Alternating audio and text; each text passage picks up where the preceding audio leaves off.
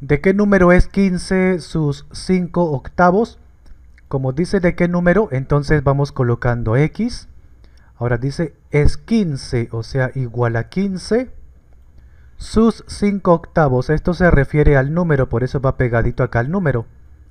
En otras palabras, esto es como decir 5 octavos de qué número es 15. Y para hallarlo, siempre el que está acá dividiendo pasa a multiplicar al otro lado. Ahora el que está multiplicando acá, que es el 5, pasa a dividir abajo. Siempre el que multiplica pasa para abajo. Como que hay multiplicación, este 5 se puede simplificar con cualquiera de arriba.